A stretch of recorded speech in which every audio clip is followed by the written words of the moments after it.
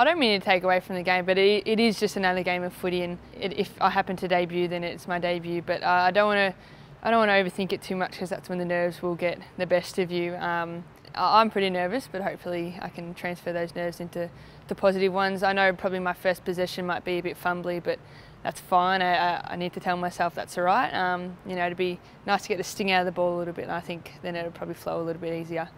Um, it's pretty bizarre to think that a year ago from on Friday, I was in the stands at Ikon Park to now I potentially could be on the field running amok. I think um, that point when I saw that game, that probably was another stepping stone for me choosing football um, to see how much support we, we had or the girls had at that time. And um, yeah, it was, it, to me, that was my future there, and um, that was a, a massive part in my decision of coming to football but the senior girls have been good. Like they, they do have that experience from last last year's game, mm-hmm. um, and they've transferred that to training. Like we've trained with loud noises, we've been told what to expect. Um, so I think the senior girls are really well prepared. The the girls that will debut in the game, and yeah, they're, they're just always checking on up on you and really genuinely care about how you're feeling and want want the best for the team and yourself. It's exciting. I think after seeing what we accomplished last year and seeing just how big that first game was and what it meant for women in footy, to know that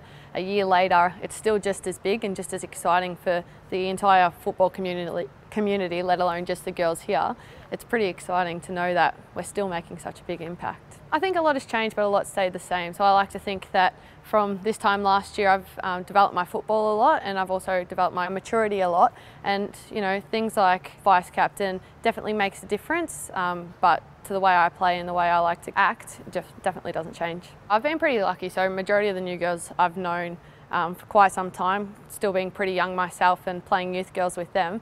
Um, I've definitely tried to pass on a little bit but these girls have had such great pathways that they're teaching us girls, I'm not going to say us older girls because I'm pretty young, but us girls um, who have had a year experience, they're teaching us just as much. I'd like to just make sure that I just continue to get better and better. I don't want to um, go backwards from the standard I set last year. And from the team, I think uh, we're very unpredictable um, and there's no surprise that we're going in as the underdog this year. And to me, that excites me. And I think a lot of the girls are sort of thriving off that. So I think we're going to bring something pretty special to the AFLW.